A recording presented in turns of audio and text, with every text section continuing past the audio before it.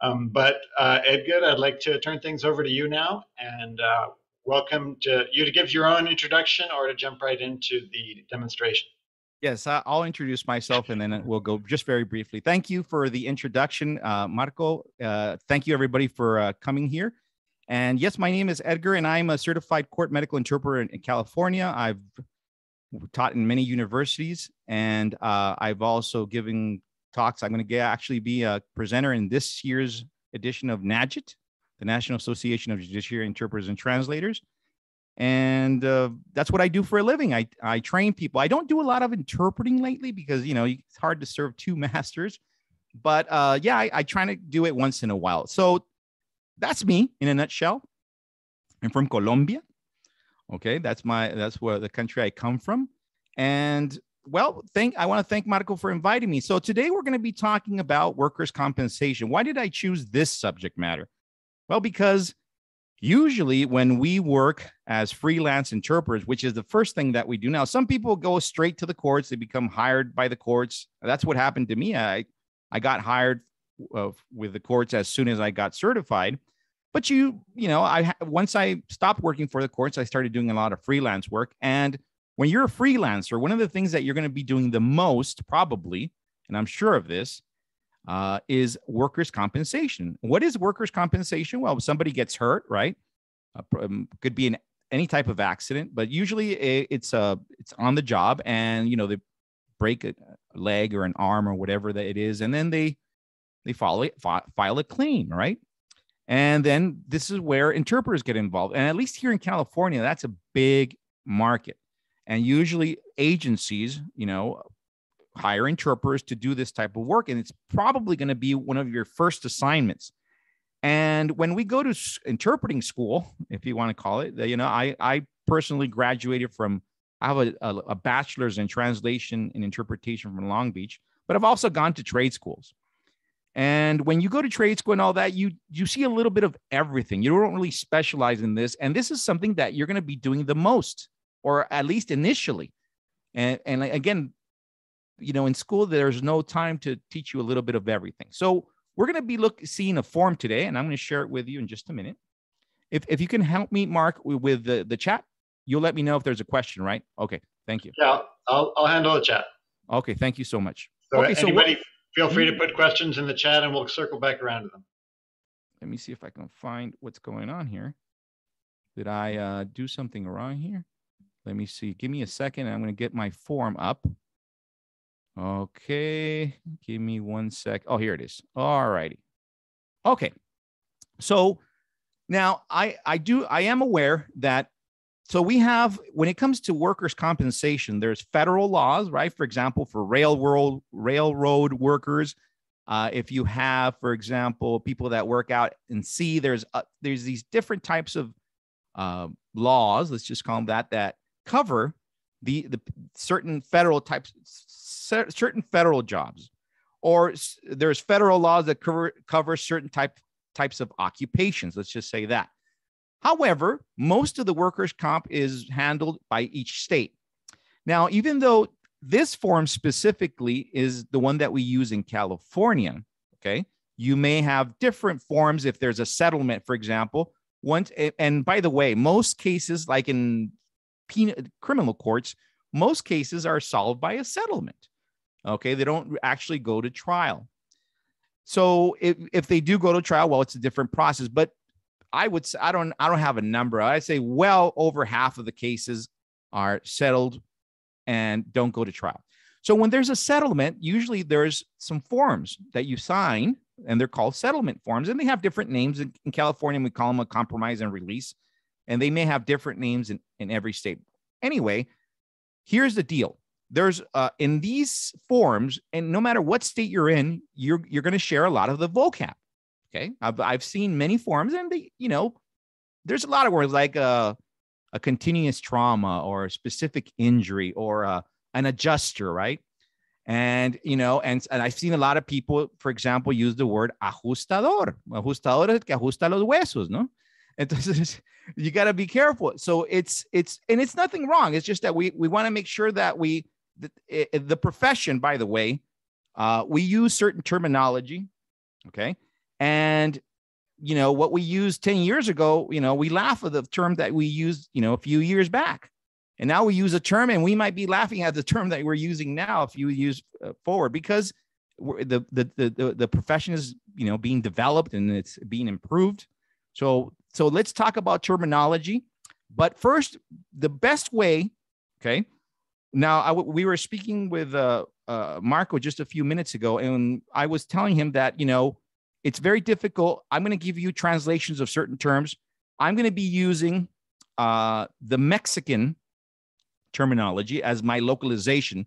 Not because I'm, like I said, I'm Colombian, but I'm going to use the Mexican localization. By localization, I mean, remember, we have over 20 countries that speak Spanish. Who are we speaking to? Who are we talking to? Who are we delivering the message to? Is it someone from Costa Rica or is it someone from Bolivia? And in the case of a Spanish speakers, right? and and the same goes for all other countries if you're mandarin what region you know india it's a huge country so you have to know where who are you, who's your audience so today i just want to give that uh, uh, that announcement that it's if i'm localizing most of the terminology to mexico number one number two uh, and i think marco has mentioned this in his talks the the, the translation that i give okay uh, there are many ways there are many ways to skin a cat, right? So, uh, so why you have to, you got to be careful. I always say in Spanish, mi traducción no es la última Coca-Cola del desierto. That means it's not. Uh, I'm I'm gonna defend my translation. I'm gonna tell you why I chose that translation. Okay. And one of the things I wanted to teach all of you, well, show you, I'm sorry, is where do you where do you find terminology? Like a dictionary? What dictionary do you recommend? Well i actually don't recommend per se dictionary. Oh there are some really good dictionaries. But what you want to do uh, in most of the cases and let me just show you really quick uh, okay there we go. Let me just show you really quick okay and we have to we have to get really quick we got to get to the uh, ups we got to get really quick to the um, to the actual translation of the document. But before we do, if you notice what we have here, and this is one of the actually one of the first terms that we're going to probably learn today, is you see this name, Junta Federal de Conciliación y Arbitraje. Okay. So this in Mexico is the equivalent of what we call workers' compensation. This is workers' compensation. This is their equivalent. So how would you say workers' compensation? All right. Okay. Uh, uh, for example, here in California, we have a very specific name for a workers' compensation, which is the Workers' Compensation Appeals Board. Okay, that's what it's called. And why is it called Appeals Board? Well, it's crazy. We'll talk about that one in a minute, but it's called the Workers' Compensation Appeals Board. And in Mexico, it's called the Junta Federal de Conciliación y Arbitraje. So there we have our translation. Okay, so we don't have to go to a dictionary, we will go to a primary source. Okay, all right. So just, and then you can you know, grab a, lot of uh, interesting uh, terminology from a website such as that. Okay, now let's go back to the form.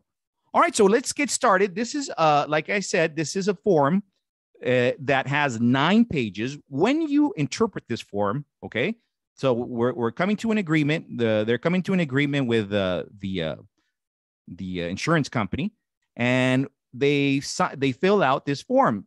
So what you have to do as an interpreter, at least here in California, for example, is you got to read this entire document, okay, from start to finish. So it's a sight translation. So today I'm going to be doing a sight translation of this document. However, because I know that this is more of a translation uh, website, right? We are going to do a translation of one section, which is the most difficult portion of this document. I consider it the most difficult. We're going to actually see a translation. But because we don't have a lot of time, I'm going to be going through this document really quick. Now, usually it takes me about 20 minutes to do a, an entire sight translation of this document. I've done this document many times. Um, but again, and many people have already done this document read it, for example, in California. Now, the question is have you been using the correct terminology or how we've been using the correct terminology as we do a sight translation? So let's start right now. Is everybody ready? Can I get some feedback? Yes, no? I'm reading yes, the chat. We're ready. We're ready. Okay, let's rock and yes. roll then. Okay, very good.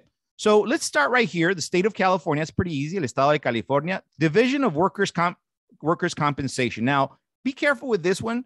Now, some people say compensación al trabajador, and really, when they're not, they're compensating them, yes, but uh, there's a very specific term eh, in Spanish, which is indemnizar, ¿no? División, a la sección de indemnización laboral. So it's really the compensation part. You want to use that, and if you see many primary sources, you'll see that the the uh, prevalent word is indemnizar. Now, if you use compensar, will people understand you? Of course they will. Will you get the message across? Of course you will. Now, remember, we we always want to strive to use the best terminology possible. That's where it boils down to. Now, workers' compensation appeals board. How do we translate that? We just saw it, Junta de Conciliación y Arbitraje. That's it. Now, if you if you look, for example, and I've out of curiosity, of course, for example, I look in the Colombia in Colombia's, uh, how do they handle it? They call it the same, una junta de conciliación arbitral. So that, that term is pretty prevalent in many countries, Spanish speaking countries. Now, here comes one that's very interesting the compromise and release. So, this is where I'm going to, I told uh, uh, Marco that I was going to be using a little bit of English and then translating this. Well, here it is. So, compromise, when you, that's when you come to an agreement, right? And so, okay, you're going to give me $5,000. Great. And then for in exchange for you giving me that compensation, then I'm going to release you of any responsibility. In other words, we're done. I'm not going to sue you again, and I'm I'm letting this uh, lawsuit go, right? This claim, right? And that's it. So that's what it is. It's an agreement. So this compromise and release is an agreement. It's it's it's a settlement, if you want to call it that. Now, this term, uh, if you look in online, You'll see dozens of translations of this.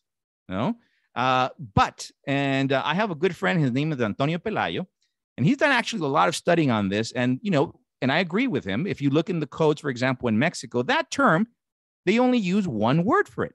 And this is one word, and this is, I know, a correct term. However, remember, you can use many terms, is conciliación. You would say, what is conciliación? Settlement. Okay. It's the settlement. And this is what I call it. So compromise and release is la conciliación. Some people say, well, couldn't you use, uh, I don't know, arreglo y liberación? Could I use um, uh, conciliación y liberación, right? Well, the problem is you, you can, okay, not a problem. And if you, and there's actually a glossary, uh, California has a glossary of workers' compensation terms. Uh, I do. I recommend you not trust that translation. Those translations. I've gone through those translations. There's a few little things that might, because of the definitions of the term, because the best way for you to translate a term is to look at the definition in English. What is what does it mean? Okay, it's not. we're not translating words. We're translating concepts. So you don't want to, you don't want, you don't want to just see words. Okay, I got to translate every single word. No, what does this mean? What is this equivalent to? Well, I already told you if it's localized towards Mexico and to other several other countries, es una conciliación, es un arreglo, ¿verdad? Okay, very good. So we got this first part done, and then here we have num- numbers case number. Now, case is a very interesting word. There's two words that people use: causa y caso. Why should I use causa? Why should I use caso? What's the difference between the two? Well, causa, okay, is a more formal term, and this is uh, well, that's that's that's the main reason. It's a more formal term, but there is something that when you're speaking before a judge, you should use the word causa, and when you're out of the presence of the judge, you word you use the word caso. Uh, I'm not going to go too deep into that, but I my preference is causa because of the formality. So that's good. So that's easy, right? Causa número uno, dos, tres, cuatro. Número de seguro social. Here we come to a very interesting word, seguro. Remember, a lot of people, and this has happened to me in court numerous times. You say, you know, uh, you so they're they're they're looking they're looking at the judge, right? And they tell the judge, um, did you bring your insurance? Trajo su seguro. And they say, no, no tengo. Okay, no, I don't have any. But I thought you told me you had car insurance, pero usted dijo que tenía seguro de auto. Ah, aseguranza de auto sí tengo. No tengo es seguro social, right? So the question comes, should we use aseguranza so they can understand or no? We use seguro And people, it's probably going to become a word in la Real Academia because so many people use it, but it's remember, it's seguro is this one, right? Okay. Uh, okay. So I'm going to start interpreting really quick. Okay. And, and then I'm going to pause after I do a section to just uh, make uh, some comments on certain terminology. So, okay. El lugar que usted elija se basa, okay. No, notice it. El lugar que usted elija se basa, se basa en que, okay. Number one, remember when we do translations, active, passive, very important that you take that into consideration. In English or in legal terminology, it, the, the preference is to use the passive. For example, the police were called to the scene. La policía fue llamada al lugar. Or some people say a la escena, right? That is incorrect because English prefers the passive. La policía fue llamada. No, se llamó a la policía al lugar o a la escena. When we do formal translations, we want to always use the active. So if you notice here, el lugar que se eligió se, fue, fue basado, that's passive. Se basó, el lugar, okay, el lugar que eligió se basó en qué? What it, was it based on? Okay, se debe completar este, esta sección. Se, requiere, se requiere que se complete esta sección. Se requiere. No, es, eh, es requerida, no. That's passive. Se requiere. All right. Se requiere que se complete esta sección. Ok, so county, la condado de residencia del empleado, conforme al código laboral, artículo, no sección, artículo número 55.5, inciso A1 o D. Ok, inciso. Ok, section, subsection, inciso. Sub, subsection, subinciso. Ok, aquí tenemos inciso A1 a D. Condado donde ocurrió la lesión, conforme al código laboral, artículo ta, ta, ta, ta, right? Eh, condado, eh, entonces el condado que es el principal lugar de residencia del abogado del empleado, ¿no? Entonces lo mismo que acá arriba. Ok, vamos para todos. Ya la, ok, select three letter office. Now aquí dice que, se, porque este es específico de California, uno elige, por ejemplo, si es uh, Bakersfield, right? Entonces seleccione eh, las tres letras del código de la oficina para el lugar o el venue, but it so happens that venue is also a place in Spanish, right? Because it's the same thing, right? Entonces aquí cuando ocurre esto, entonces ahí usamos, hay un libro que tengo yo aquí, se los voy a recomendar. Permítame un segundo, no, no me acordé.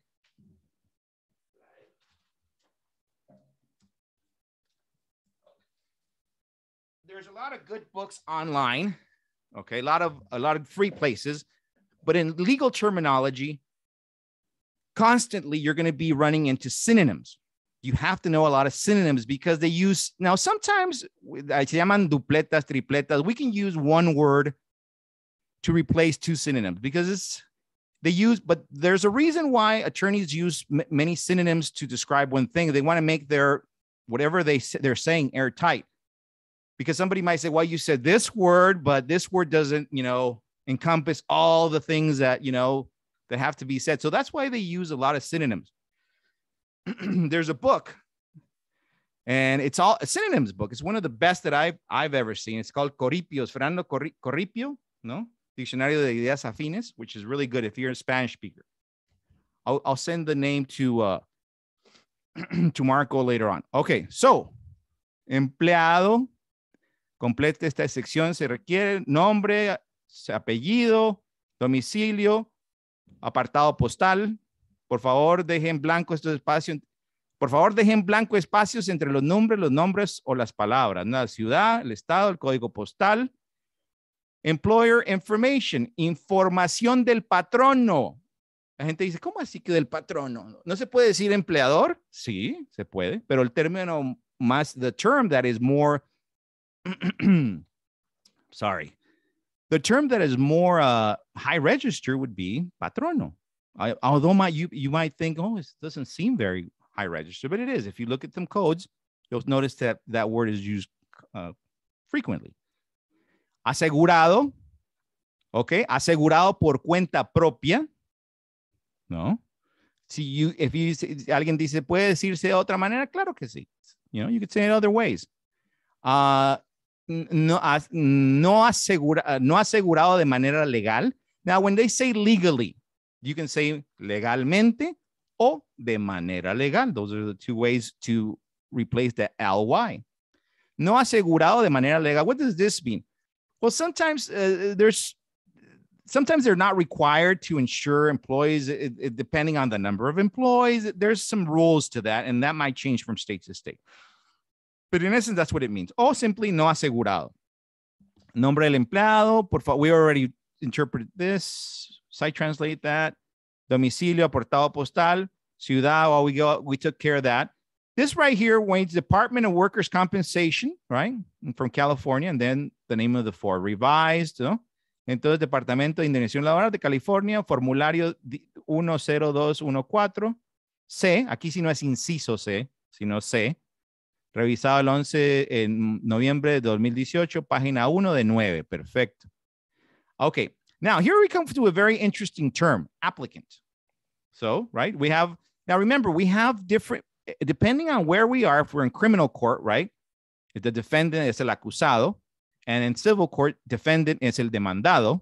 And if we have, for example, if we're in family law, okay, it's a little bit, también es el demandado, but we, we, the app, we have a different names for the applicants and the defendants. Here is el reclamante y el reclamado. ¿Por qué? Porque presentan un reclamo. They file a claim. Okay, when you file a claim, es un reclamo. Ah, tenemos el reclamo que nos dan nuestras esposas cuando digamos tarde, ese es otro reclamo, ¿verdad? Pero este, este reclamo es el reclamo, el reclamado y el reclamante. Entonces, el abogado reclamante o el representante autorizado, el bufete, bufete jurídico, right? También se puede decir el despacho jurídico, el bufete jurídico, hay otros nombres, cualquiera de esos está bien. Ah, o un, representante que no es un abogado, nombre, apellido, número de la, del bufete jurídico, nombre de la empresa, ¿no? Marco Hidalgo, Marco Edgar and Associates, right? Que ahí va por ahí. Al domicilio, la portada postal, la ciudad, por aquí estamos fácil, ¿no? Todo lo mismo. Y a veces hay más de un abogado. Ustedes dirán, ¿por, ¿por qué más why more than one attorney? Because maybe you were working in one company and then they changed, they sold the company to another, and then the, you have another attorney. So they might, there might be more than one attorney involved. There, many examples of why there could be more than one attorney. So that's repeated. Okay, very important right here insurance carrier. Please do not use the word compañía. Do not use compañía. Let me tell you why compañía is, is an incorrect. We I see it in translations everywhere. Do not use compañía because compañía, okay, means something completely different. For example, um, Marco Hansen SA, Sociedad Anónima. That's a corporation, right? I'm sorry, Marco, I'm picking on you. All right, so uh, Marco Hansen, uh, Sociedad Anónima, SA, no es Suramérica. ¿eh? Marco Hansen, Sociedad Anónima. That's a corporation, okay? Eso es una compañía, porque eh, hay una sociedad eh, de personas. No todas las empresas son sociedades, no necesariamente. Es, a eso se refiere. Pero, lo, pero una, uh, when you're talking just about a company, okay, any type of company, es una empresa. Es una empresa. Ahora, pueda que esa empresa, may, maybe that company is incorporated. Maybe it is. I see, I'm not incorporated. You know, some of you just are sole proprietorship. Y tienen una empresa. You have a company, but it's not an LLC or that. So be careful when you say Ustedes pueden decir una, una agencia de seguros, por ejemplo, una agencia, una empresa incluso de seguros, pero compañía de seguros, si es una sociedad anónima, so you gotta be, this is, gotta be a little bit careful there, okay? Uh, información de la agencia de seguros, si se conoce, ok, si se sabe, ¿no? Si se sabe y si procede. No si es aplicable. Se puede aplicar uno la crema, ¿no? El Vaporub. Does this apply? ¿Procede? ¿Ok? Ahora, la gente dice, bueno, aplica, a, estoy aplicando a un trabajo, I'm applying for a job. Sí se puede, sí se puede, pero el término más, eh, más formal es, eh, it does not apply, no procede, ¿ok? Incluso, aun si la aseguradora, ¿ok? is adjusted by a claims administrator. Now, here we come to the word, one of the words that is adjusted. And I'm actually going to give all of you guys a um, a glossary, and I'll show you what the glossary with all these terms. Okay, so adjusted, donde, okay, esta es muy importante. Entonces, ya les dije, I already told you de ajustar, se ajustan los huesos, ¿no? Uh, if you, for example, say una, an adjuster is basically a person that determines what the um, the amount is to, to pay, right? Entonces, for example, puede ser un evaluador de reclamos, so he evaluates the claim. O tengo aquí también, eh, también lo he encontrado en otros, en otras uh, empresas, evaluador de siniestros laborales. Un siniestro, pues es un accidente, un choque puede ser, ¿no? Uh, hay siniestros automovilísticos, siniestros laborales. So that's an adjuster. But to adjust as a verb, okay, to adjust as a verb es determinar el presupuesto a indemnizar. So, incluso aún si la aseguradora debe ajustar el presupuesto a indemnizar, ¿ok? Por parte del el ajuste, eh, aquí no, es ajustador, ¿no? Aquí, entonces aquí tenemos eh, de parte de el, del evaluador de siniestros, podemos decir, ¿no? So, incluso aún si la aseguradora, ¿ok? Debe determinar el valor a indemnizar por parte del administrador de siniestros. Y ya. Ok. Entonces, el nombre de la, aseguradora, por favor, el nombre, el domicilio, la calle, lo mismo acá. Ok.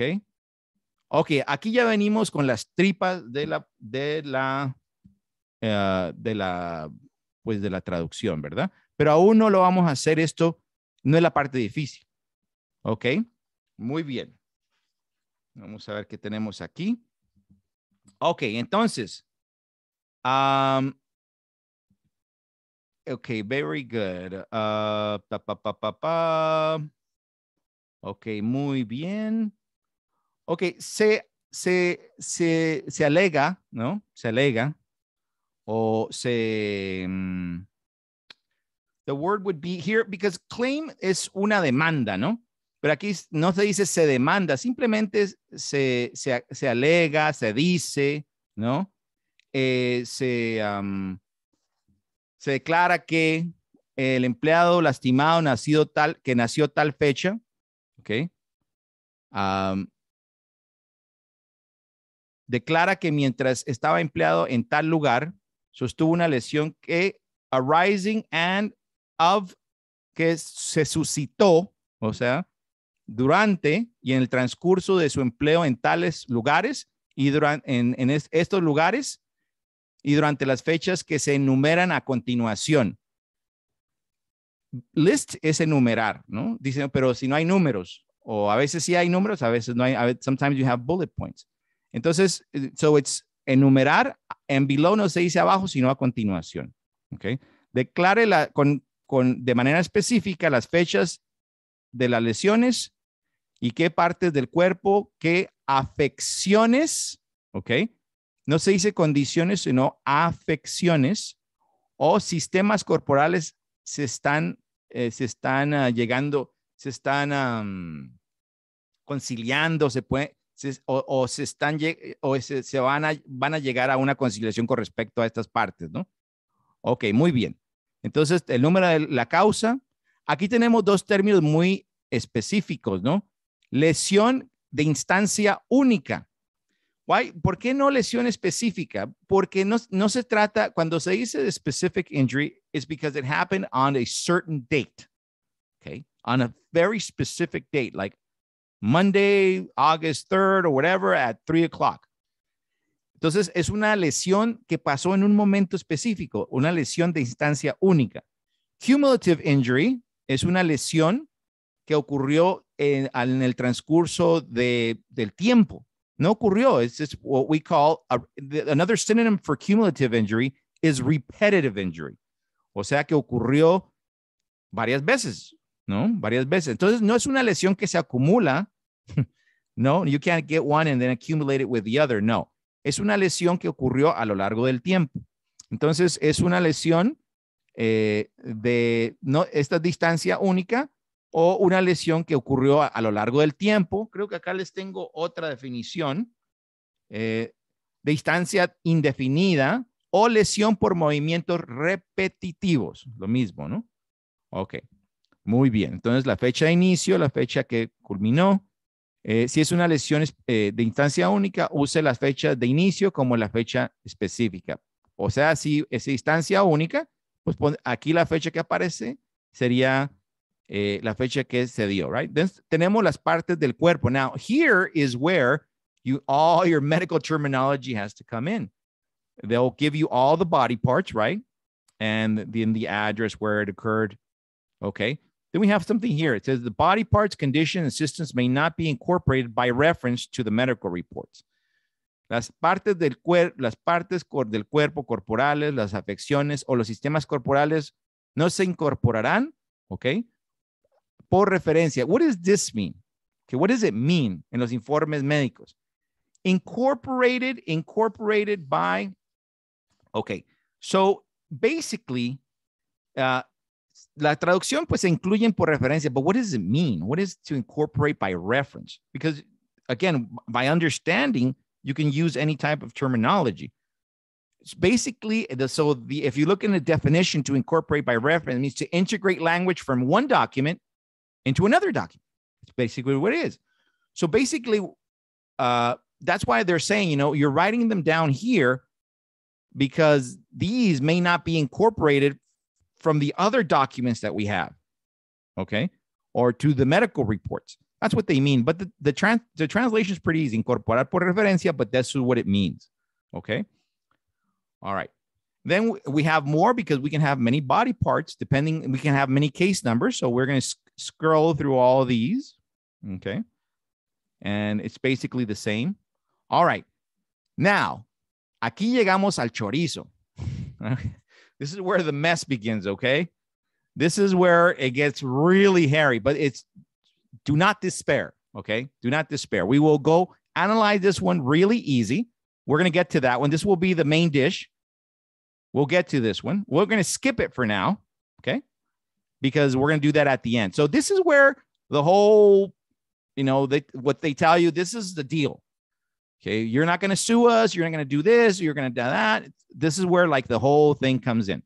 This is the part that you they really the other part, you know, they don't care where the address of the insurance company is, eh, who, you know, all that stuff is yeah, it's important. Maybe the how they got injured and what body parts that's super important. You do want to dedicate, you know, because they usually say, well, and I didn't hurt that part, and they forgot to put this and they forgot to put that. That's where you're going to get all those arguments. But but you know that's important. But the names of, of the attorneys and all that, that's not really of importance to um, the person that files a claim. Okay, so I'm going to jump to this page and then we'll go to the other one.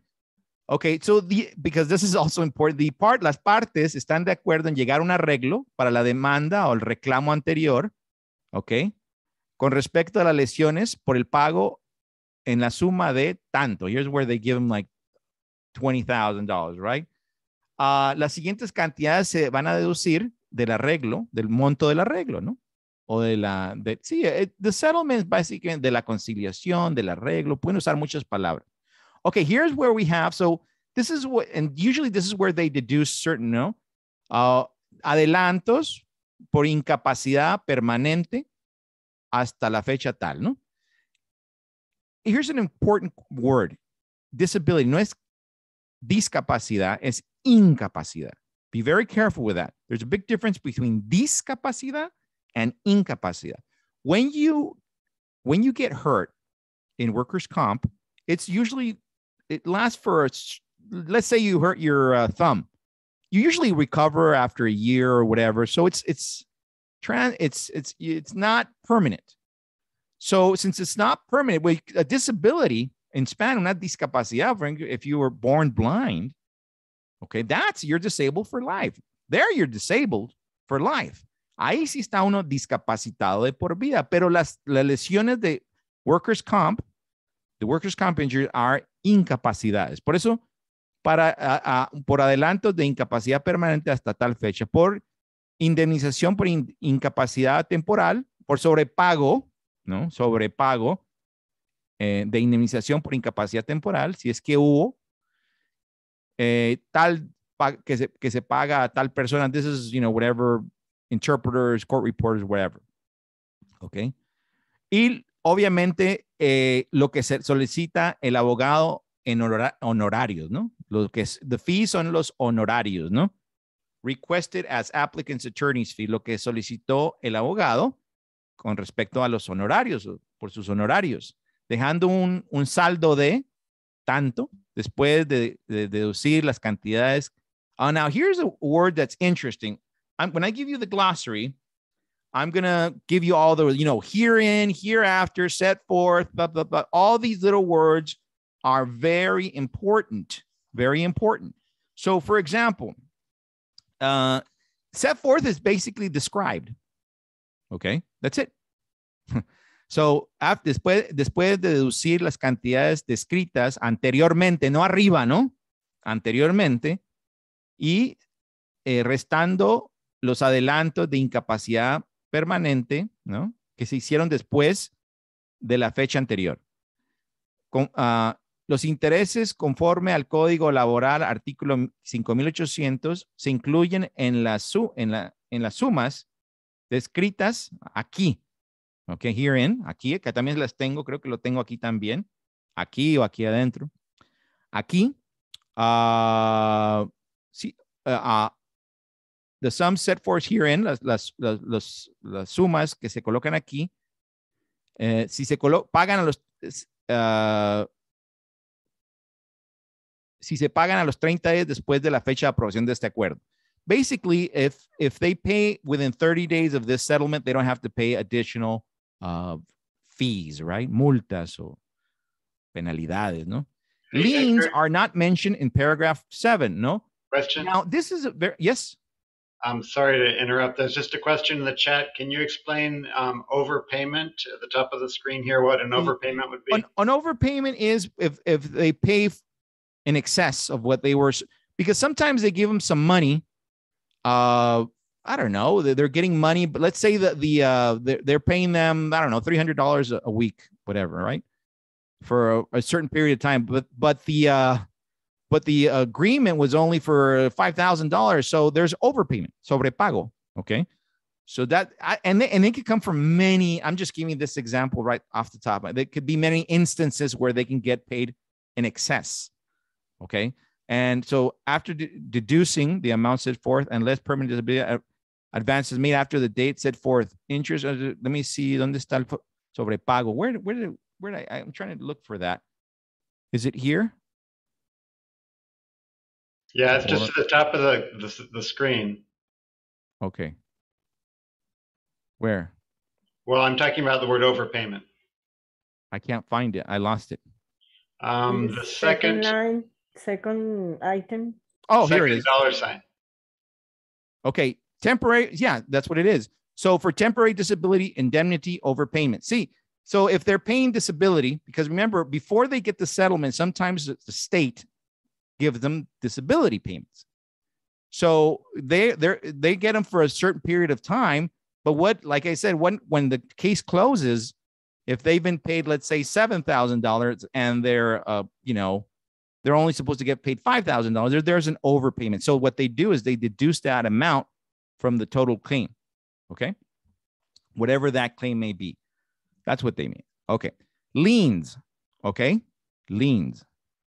Now there's a, there's there is a, a, a legal term for lien. When I do this translation, okay, sight translation, I um I I don't like I don't use this this term very often, although this is a term that you should be using.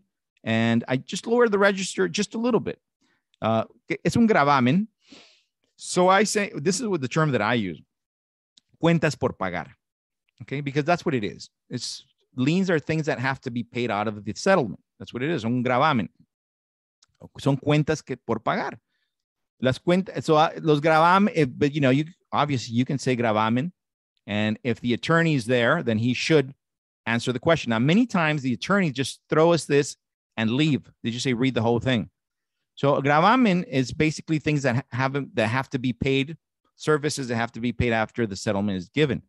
So liens son cuentas por pagar, gravámenes, que no se mencionan en el párrafo 7, se deben, to be disposed, se deben cuadrar, se deben arreglar de la siguiente manera, ¿ok? Y entonces agregar una adendo si se hace necesario. ¿Qué es un adendo? Es uh, hojas agregadas. Be careful because in a book, okay, it's called un apéndice, but this is not a book. This is illegal. So in legal, we use adendo, which is sheets that they add to whatever these nine sheets that we're seeing right here. Okay, very good. Now, let's see, we have to leave at least 15 minutes for the big one.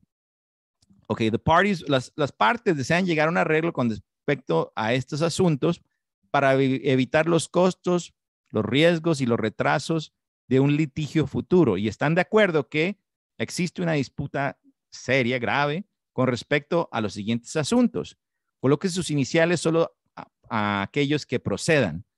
Solo aquellos asuntos que tengan las iniciales por parte del reclamante o su representante o, o los de, o, su representante y los reclamados y sus representantes se incluyen dentro de este arreglo, ¿no? De esta conciliación le pueden llamar. Entonces aquí todo van a colocarles entonces ganancias, incapacidad temporal, el fuero, o sea, la competencia, jurisdiction, pues puede decir jurisdicción. Esta es una palabra interesantísima que necesito dedicarle unos minutos. Apportionment es, es un término complicado.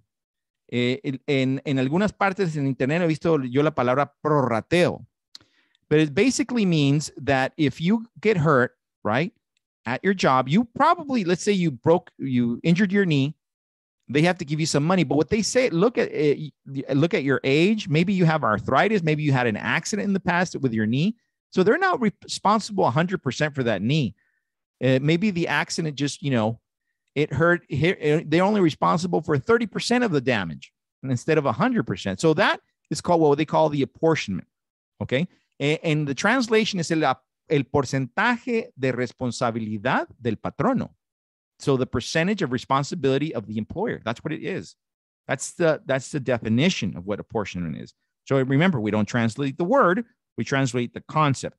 So it's a percentage of responsibility that corresponds to the employer. Porcentaje de responsabilidad del patrono. That's the translation for apportionment. Empleado. Empleo, perdón. Uh, uh, these AOE basic, this can be in you can see it in different ways. Uh, arising out of employment would be the, the initials, right? Or course of employment. O sea que esto es que surge o ocurre en el transcurso del empleo. ¿Ok? Conducta, mala conducta grave e intencional por parte del empleador, ¿no? Esto, o sea, lo que están diciendo aquí, this is all you're releasing us on.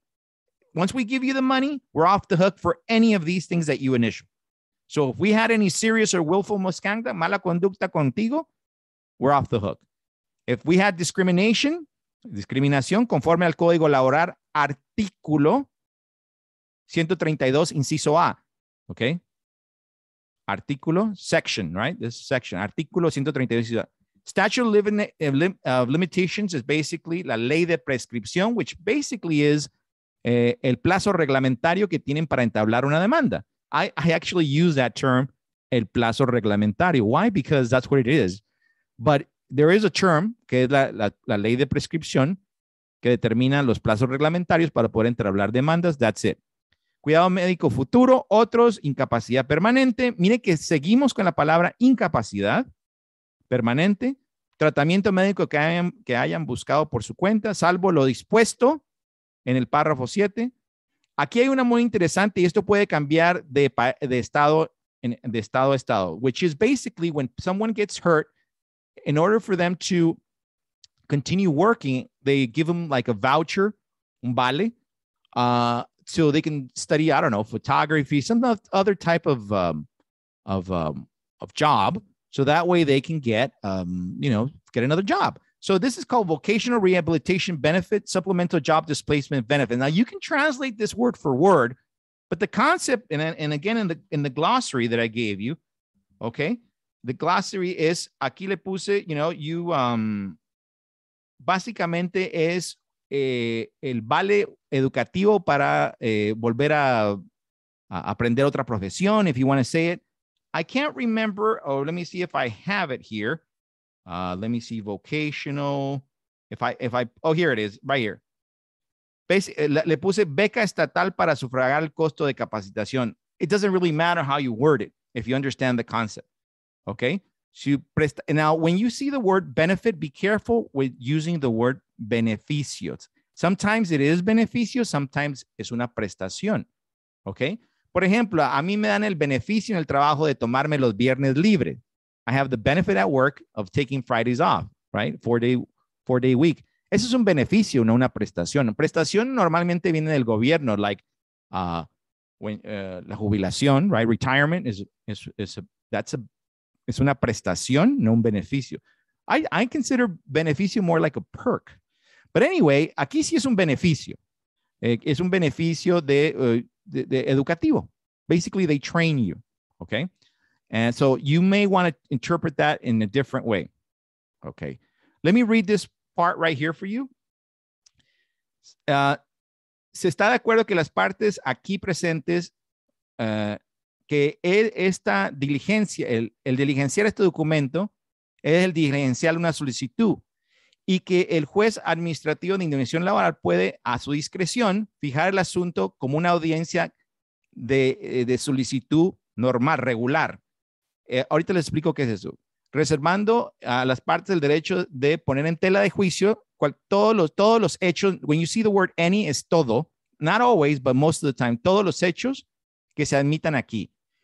Y que si la audiencia se, se celebra con este documento que se utilice como una solicitud, los reclamados tendrán a su disposición todas las defensas que estuviesen disponibles en la fecha de diligenciar este documento y que el juez administrativo de indemnización laboral puede de aquí eh, puede después de esto ya sea aprobar esta conciliación o no aprobarla y hallar okay this one's a findings and award. Now here we want to hear the the definition okay básicamente es el fallo del juez.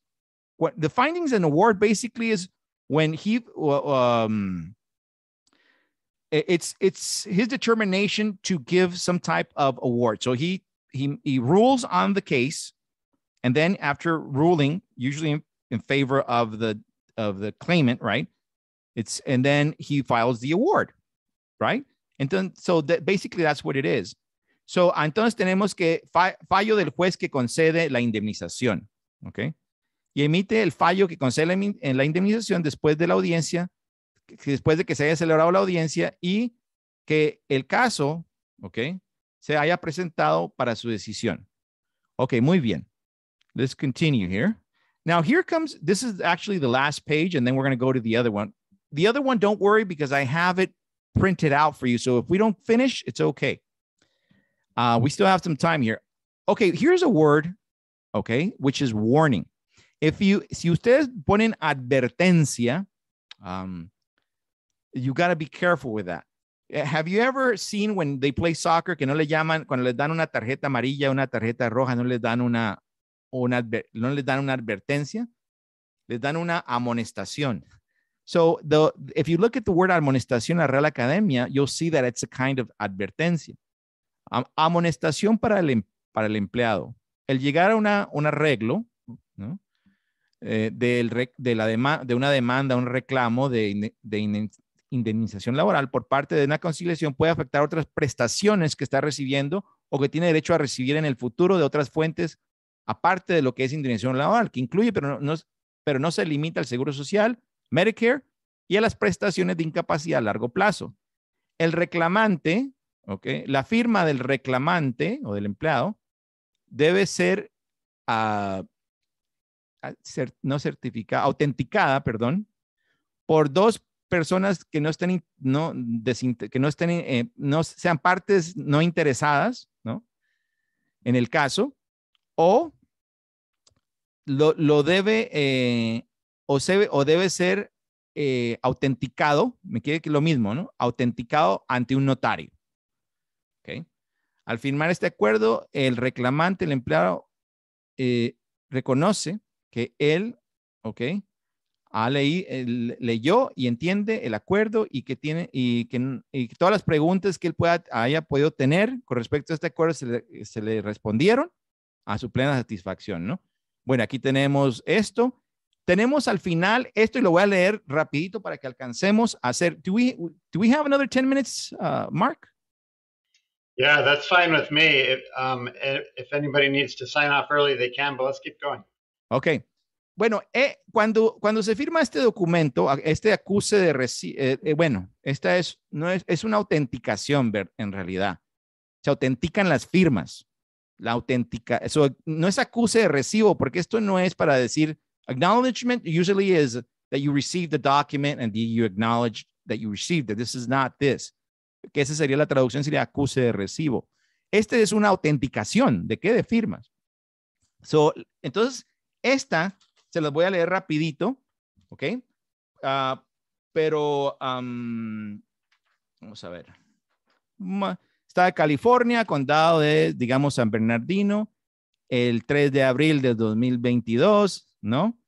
Eh, fulano, miren que aquí está bien complicado. Esto está aquí, hay una, ok, on this date, before me, so and so personally appeared before me this is the name of the notary so on so so let's let's organize it in our mind and then we'll we'll, we'll translate okay so on this date before me i'm this i'm the uh the um the, what do you call it the uh notary personally appeared the party who proved to uh, to me on the basis of the evidence okay and then we have the rest so el, digamos, el 4 de abril de 2022, compareció fulano de tal. I'm moving things around. ¿Ok? First, quien compareció fulano de tal. En persona, ante mí, Juan Pérez, digamos que yo me llamo Juan Pérez. eh, y, y con pruebas satisfactorias, I want you to follow me now. Ok, here we go. Y con pruebas satisfactorias, me demostró ser la persona cuyo nombre aparece en el documento y admite que él firmó el mismo en su calidad de autorizado. Y que al firmar dicho documento, la persona o la identidad la cual representa formalizan dicho documento. So, formalizar es execute, right? Formalizan dicho instrumento. Formalizar es que pues se firmó. Uno puede decir firmar o formalizar. Doy fe bajo pena de falso testimonio o pena de perjurio. Hay muchas maneras de decirlo. Y bajo las leyes del Estado de California, que el párrafo anterior es fiel y correcto. Doy fe con mi firma y sello oficiales o estampo mi firma y sello, ¿no? Esto es en caso de que se necesite un notario y no tengamos testigos. Bueno, ahora sí vamos con el plato fuerte. Entonces, lo que vamos a hacer aquí es algo un poco distinto. Les voy a yo, yo esta traducción se las voy a dar yo, o sea que les voy a dar un glosario. I'm going to give you some good things. Okay, so what I did here already, because I kind of knew that we're going to run out of time, uh, is I got every that little page, I actually, I'm going to give you a translation of it. Now, there's several ways you can go with this translation. So uh, uh, this is why, I'm, at least let's look at one or two paragraphs so you can understand, so you understand what I'm giving you, because I'm giving you like a few versions of it. Okay, so let's go little by little here. Okay. Tras la aprobación o tras el visto bueno de este acuerdo mutuo por parte de la Junta de Conciliación y Arbitraje, o un juez de derecho administrativo de indemnización laboral, ¿ok? Y después, ¿ok? Uh, and here we go. Uh, ok.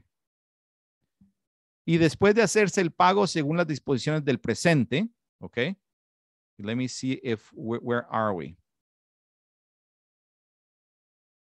And payment, and payment in accordance to the provision there hereof. Y, y después de hacerse el pago según las disposiciones del presente, el empleado o el obrero, ojo, libera y descarga. Miren que aquí puse libera y descarga, ¿ok? Aquí estamos, ¿ok? For which is ba- ta- ta- ta- claims and costs, releases, employee releases and forever discharges, ¿ok? Libera y descarga pueden ser, eh, y aquí le puse por siempre, ¿no? Exime y exonera. Hay más palabras que pueden usar. Por siempre al patrono, ¿ok? The employer, ¿ok? Uh, but employer and insurance carriers from all claims and causes of, of action. al patrono mencionados anteriormente y a la aseguradora de todos los reclamos y causales de demanda. Hasta ahí vamos, ¿no? Ok. Whether known or ascertained or which may hereafter arise or develop as a result of the above mentioned injury. Let's stop. Let's go right here. Um, vamos pues. Ya sea que se conozcan o se puedan establecer o que puedan surgir o desarrollarse de aquí en adelante como resultado de las lesiones mencionadas anteriormente. Muy bien. Seguimos con la siguiente parte. Okay, which are, is this one right here, including any and all liability. Esto incluye toda responsabilidad, ¿ok? Mire que any, no, mm, no tratemos de no decir cualquiera. Every time you see any es toda, ¿ok? Esto incluye toda responsabilidad que el patrono y la aseguradora tengan con la prole. Esta palabra prole es the high register of saying dependiente. Se puede usar la palabra los dependientes, pero van a ver muchas veces la palabra la prole, ¿no? la prole. Y no es mala palabra, no es una, it's not, uh, you know, no es una palabra que para decir que algo es, uh, you know, porque uno escucha el proletariado, ¿no? Pero no. Los herederos, then we have uh, heirs, executors, albaceas, representantes, administradores o sesionarios, assigned, sesionarios del empleado. Veamos la última parte. Execution of this form. El cumplimiento de este formulario no tiene ningún efecto en aquellos reclamos que no ampare la ley, not in scope of the Workers' Compensation Law, de indemnización laboral, o los reclamos que no estén sujetos a las disposiciones de exclusividad de la ley de indemnización laboral, salvo que se declare expresamente lo contrario. Esta palabra expresamente puede ser claramente, explícitamente, ¿no? Muy bien. Voy a saltarme, porque les voy a dejar esto aquí, ¿ok? a este párrafo que está acá abajo. Y con esto terminamos. ¿Ok? Salvo que se declare expresamente, claramente, explícitamente lo contrario, la aprobación de este acuerdo, o se podría decir el otorgar el visto bueno a esta conciliación, lo mismo, libera de toda demanda que tengan los dependientes del reclamante, descarga toda y cada una de las pretensiones que la prole del reclamante pudiera tener. Aquí vemos dos traducciones de lo mismo, una con prole, una con dependientes, una con pretensiones y otra con demanda. ¿Ok? Toda demanda o cada una de las pretensiones. Miren que es lo mismo, ¿no? Es, es, claim. Con respecto a las prestaciones por muertes ligadas o, ocasionadas por la lesión o las lesiones descritas por esta conciliación. Las partes han considerado, las partes han sopesado el descargo de dichas prestaciones al llevar la suma en el párrafo número 7 todo documento anexo que duplique any addendum, mire que aquí no le puse adendo, sino le puse documento anexo, que es lo mismo, ¿ok? Cualquier documento anexo que duplique este lenguaje conforme a la causa. Y aquí viene una parte muy interesante. ¿Cómo diablos leemos esto? Ahorita vamos a ver.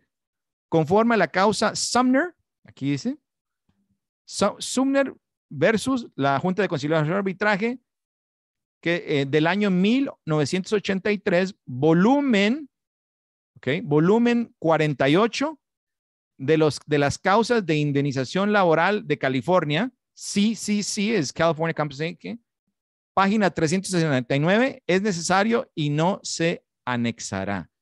Entonces, la pregunta es, el acusado, eh, o el, perdón, el demandante o el reclamante, ¿necesita saber todo eso? Bueno, eh, pasa muchas veces que no sabemos qué significa todo ese chorizo ahí, ¿no? Hay, hay, unas, hay, hay unas hojas que ustedes pueden encontrar en línea que les enseñan cómo leer esos números. Yo, es más, yo cuando empecé, yo decía California Civil Code. Yo pensé que era el California Civil Code porque era un caso civil y yo decía, conforme al, al, al, al Código Civil de California, eh, tan, ¿no? Entonces yo, según yo, estaba haciendo lo correcto, pero estaba equivocado porque era California Compensation Cases. Bueno, entonces eh, se supone que cuando leemos una traducción a la vista tenemos que hacerlo de esa manera. Si es una traducción, definitivamente tenemos que colocarlo así como lo ven abajo, ¿no? Volumen 48 del, California Compensation, la traducción de eso, ¿no? Ok, bueno, les ruego disculpas, ¿no? Eh, porque me demoré. Mira, aquí eh, ustedes en esta traducción van a ver muchos de los términos que vimos durante esta presentación, los van a ver en acción. Recuerden que les voy a dar también la hoja y un glosario de términos que cubrimos durante la presentación. Mm, les repito, estos términos no solamente son que yo los, me los inventé, son, es decir, yo tengo profesores en, mi escuela que también dan cursos de esto, concuerdan en mucha terminología conmigo, especialmente porque es de México, ¿no? Entonces, pero aquí la tarea de ustedes es saber a quién le están interpretando para ver quién es su auditorio, ¿verdad? Y eh, lo, lo que, what we call localization. But anyways, as long as you understand the concept, this is one of the forms that I believe out of all the forms, there's there's more to these forms, by the way. There's addendums, and they're very complicated, which is one of them is uh, the Medicare set aside. That is a nightmare. Maybe uh, Mark will invite me on another day to read that one. But uh, the uh, Medicare set aside is a nightmare. That's an addendum that can be added to this, and that is national, by the way. All of you have to do that. No, it doesn't matter what. Ah. Yes, yes, because it's it's federal. It's Medicare. This is this is you know this is state, but for for the addendums with Medicare, everybody has to do those. So good luck. Thank you, everybody. I'll I'll take questions right now. Okay, thank you. I'm going to pull out a couple questions from the chat. Um, Lisa Beth is asking what the title was of the glossary you showed earlier. And is Okay, that so- something that you can Uh, email me and I can email out to everybody? Yeah, that's what I'll do. Um, what I'll do right now is let me show you the glossary that um give me a second here and I'll show you what I haven't even given it a name because uh let me see. Uh give me one second here. Mm, okay, give me one second.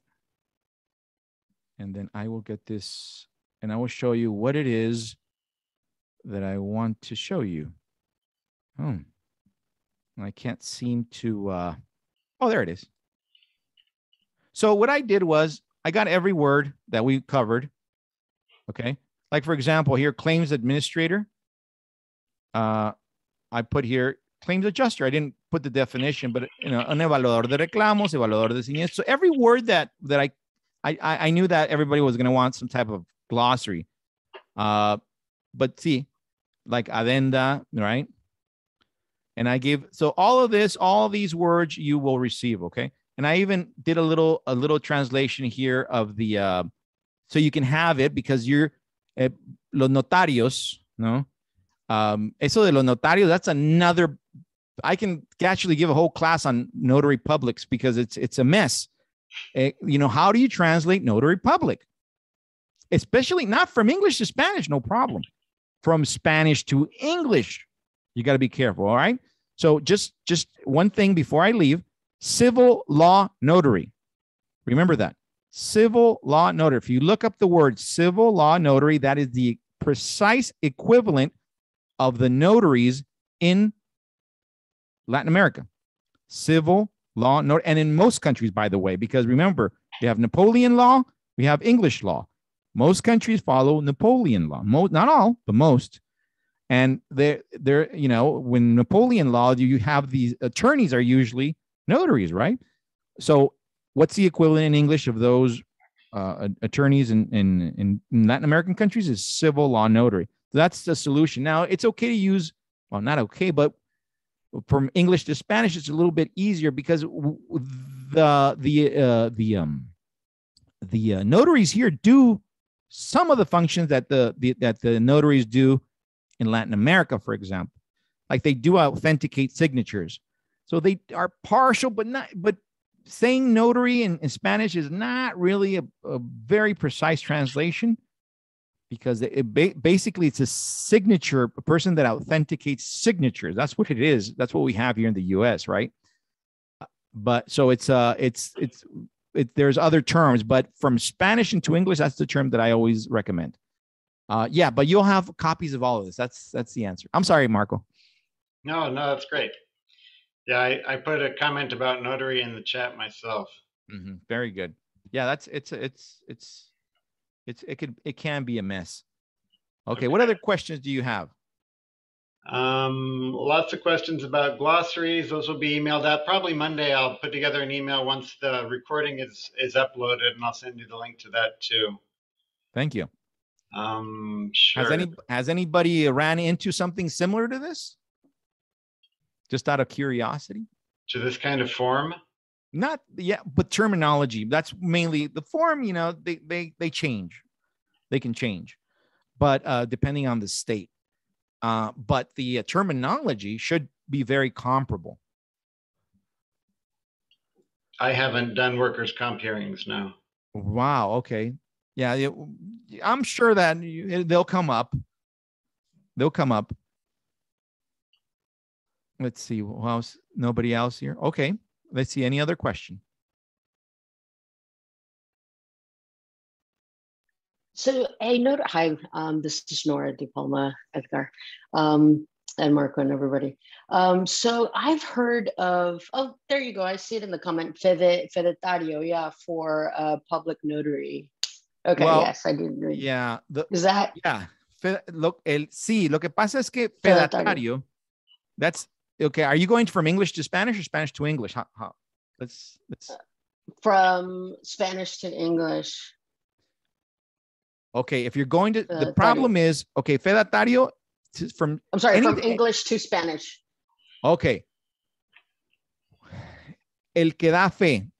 It- The, the problem is el fedatario in, in, in Latin American countries is still a lawyer. And that's the problem. A notary here is not maybe a lawyer. I mean, I mean, he or she may be a lawyer, but normally it, they're not. They're just, you know, I can go and do a weekend course or one eight hour course. I don't know how many hours it is now, but you you take and you're a notary. You're I- not. Yeah. I'm, a no- so I'm a notary. I have zero hours of training. I just filled out a form. Well, there you go. So then the problem is if you say él es un fedatario, they're still going to think, oh, he's an attorney. See, that's the problem. And that's why you can't, from English to Spanish, you can, I mean, that's why I'm saying, notario, if you say notario, you have to make a comment. El not, because he, he is un notario in that, in that sense, but you got to be, be very careful. As a matter of fact, in, I believe it's in Texas, uh, the, the you know the, the you know those places where they do all kinds of immigration help and notary work they're prohibited from using the word notario it's against the law. Yeah. because a lot of people from latin america oh you know notario look let's go let's go let's go ask him what we should do in our case.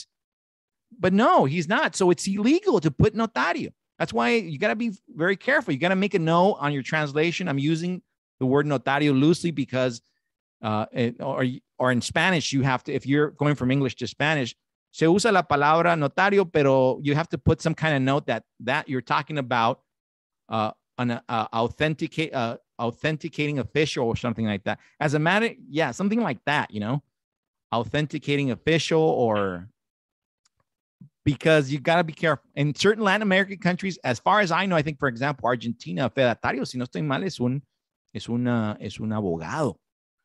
Es un abogado. Entonces, por eso, you got to be careful. You got to make some note or, or you got to come up with a term that says is una, a una persona que autentica firmas. That's what he is or she is. But now from Spanish to English, it's easy. If you look up, all of you, I want you to Google civil law notary. It gives you the exact definition of what a Latin American notary is. So that's no problem. It's from English to Spanish that it's a problem. It's a problem because uh, we they, people don't understand that concept. It's very typical to the U.S. Bueno, como como así auténtica firma, pues un notario, no, no, no, sí, pero no, no puede hacer las otras funciones. Solamente eso. So, you know, yeah. So it's, it's basically es una persona que autentica firmas, que ah, es una de las funciones del notario. Pero les digo, se puede decir notario, pero con un uh, uh, translator's note, or use some other time, type of term. Okay, what is the other question? Those are all the questions I see in the chat. Okay. Están calladitos. It's it. I, I don't know if many of you would agree that it is kind of complicated. I mean, there is some complexity to this uh, because, um, but but you know what? Once you have the main terms down, uh, no matter what state you're in, you're good. uh, even that uh, Medicare set aside, which I'm going to show you actually a, a picture of it um, really quick, like we get another question. Um, uh, uh, da, da, da, okay. Just to just to let you know, let me see if I can find. Uh, yeah, here it is. Uh, just so you all know, let me see. Where are we? Okay. So here's an actual. Uh, this is a real document. I signed it. I I did that. You read it. Sometimes I read them over the phone. Sometimes I read them in person. Whatever. So so if you go down, let me shoot. Let me go a little bit. Oh, shoot. I don't know why it's okay. Let me go use this. Okay. This is what I mean by Medicare set aside. Okay. So basically, these are addendums. These are the additional pages that you can get in a settlement with workers' compensation. And base, they can be, you know, five, six pages of paragraphs and paragraphs of information. And like I said, Medicare is a national thing. So, you know, uh, they, talk about secondary payers, they talk about uh, the, the Medicare set aside. And, you know, you first you got to understand all those concepts, or else it's going to be very difficult to interpret this is some things that they don't teach you in interpreting school. I had never done it. I had a bachelor's and never done any of this because it's very specific to a certain branch of um, of legal interpreting. So, uh, but again, this is what you you run into the most when you go out there in the field. But we don't have time to get into this. But this is it deals with Medicare, and like I said, Medicare is a national thing, and you might have run into this sooner or later. You'll run into one of these crazy documents and you have to read you don't you don't get to take it home to translate it as a matter of fact they don't have these forms translated they should but they don't and there's reasons for that but these addendums are very specific to each person so no matter wh- you know how much you may study one of these you're going to get a slightly different one but if you understand the main concepts you should be okay okay so this is just an example of one of these medicare set asides you might see it there on your on your screen. Okay. So that will be for another class, but just just a heads up. Okay. Any other question? If not, then I think we can call this a day. And and you know, I was I'm very happy that I was able to come and share some. I hope you guys liked it. Uh, I'm sorry I had to run.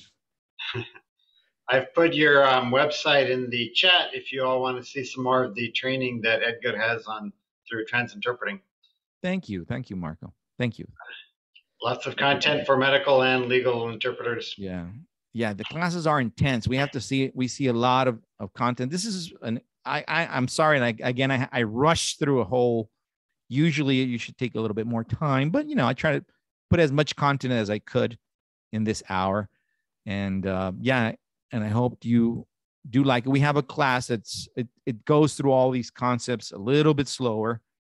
Um, there's several classes. This is, you know, at least in California, it's it's a big market. Um, that's why. But again, we maybe if we come to another show, we'll we'll deal with something else. We'll deal with something else.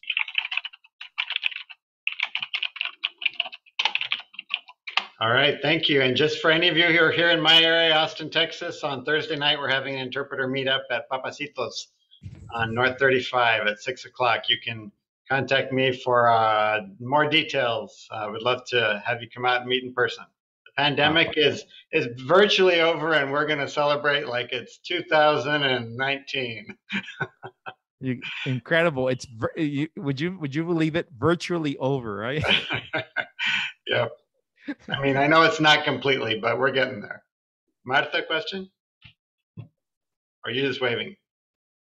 Let me see. Just a quick question. I was wondering, after translating these overwhelming forms to a Spanish speaker person that does not have a lot of education, what type of response do you receive? Okay, that's a great question. And uh, this is one that I want to, when we get together with a lot of colleagues, I would like to debate so we have this thing that we have to keep the register. and that's one of the things you know we don't add, omit, paraphrase, all that, but we got to keep the register. So within that that concept of keeping the register, I think there's a little bit of wiggle room. Uh, like I said, lien, for example, right? A lien, uh, gravamen, but you know, a lot of people say, "What the heck is that?" You know, Mhm. uh, what's what's a gravamen? And the, and if the attorney is there, you know, we can we can use gravamen, and if they look at you, they you you you know you can indicate if you have any question about a word or something. I say ask the attorney, right? And then the the, the attorney would say, well, a lien is this, this, and that, and that's. But some many times we're alone with a form, and we know this. So my my thing is always, for example, another term would be DMV. For example, the, the, the equivalent of DMV in any Latin American country would be Secretaría de Tránsito.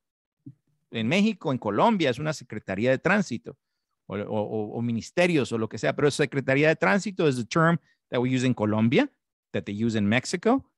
That's the equivalent of the DMV. But if you t- tell somebody that here that's been living here for a few years, that they speak their Spanglish, right? They're LEPs, and you tell them Secretaría de Tránsito, they're going to say, what's that?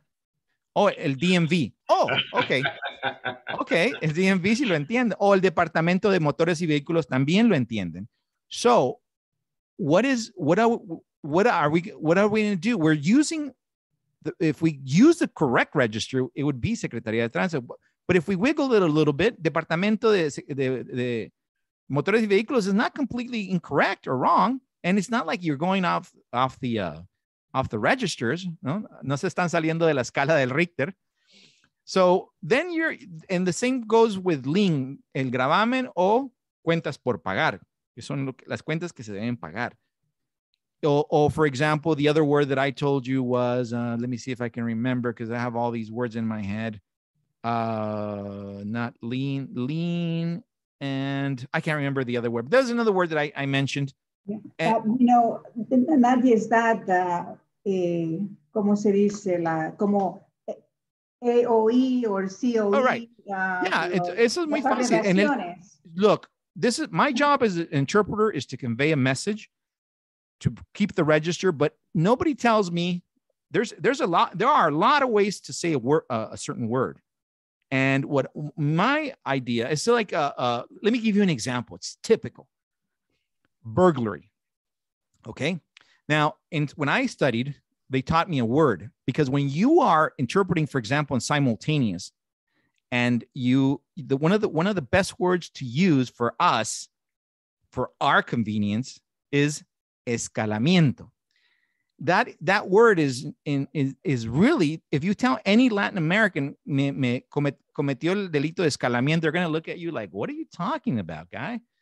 That that's not you know? So and, and actually that word is there's eh, for example in mexico uh, eh, eh, they use allanamiento de morada con fines de robo or, or anything similar thereof.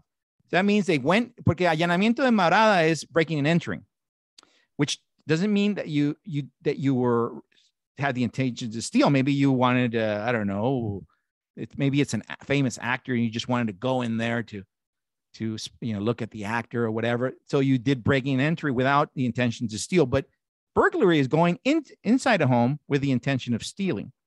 So es allanamiento de morada, pero con fines de robo. And anything that's similar is okay. Now that for a for a normal layperson is more, you can understand that. Entró a robar con la intención de robar. That's burglary.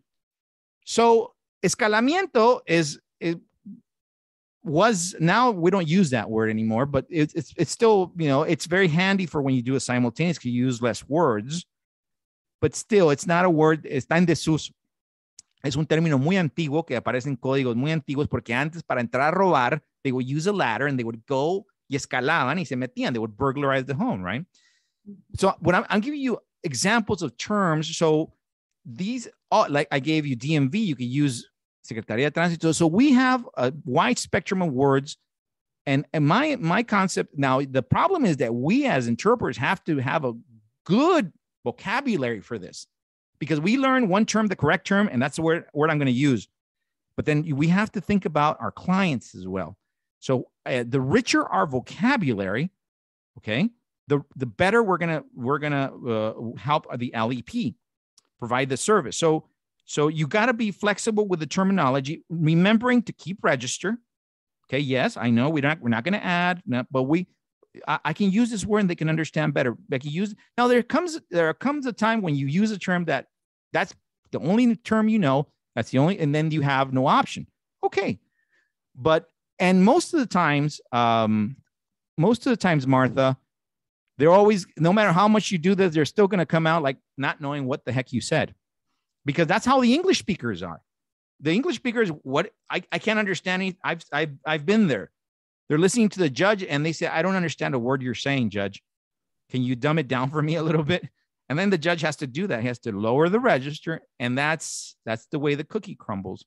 There's certain times that you have no option or or you're limit uh, you're limited on the, the type of vocabulary that you know or that you can use and that's it but but when you can please you know take into consideration what i just told you so there's that that thing that register there there is some flexibility to that okay what other question do you have Thank you, gracias. Mhm. Very practical advice. yeah I, I would probably get lynched by some certain interpret but that's okay. I, I think we, we deserve a, a healthy conversation on you know a lot of things have to be revisited in the profession you know, you know a lot of ethical ish uh, uh, books have been written uh, since 2004 2002 we're talking about things that are 10 12 years old. If they're five years old they're already old. And certain things haven't been revised. And uh, you know now that we we're in the uh in this era where now we do a lot of remote there's a lot of ethical issues that have not been uh, they're not revised they're not in the books. So we're getting away with murder right now and it's okay because we don't really know what's going on and we have i mean there's lone wolves that are giving some training here there.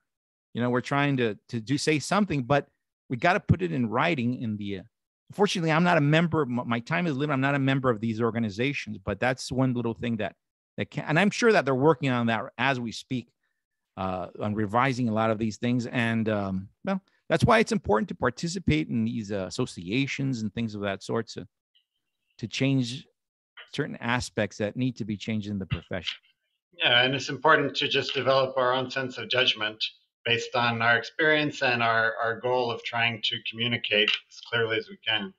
Mm-hmm. Mm-hmm. thank you Well, I've got to wrap things up now, um, but I want to give Edgar a warm applause and thank you for this interesting and useful and very practical presentation.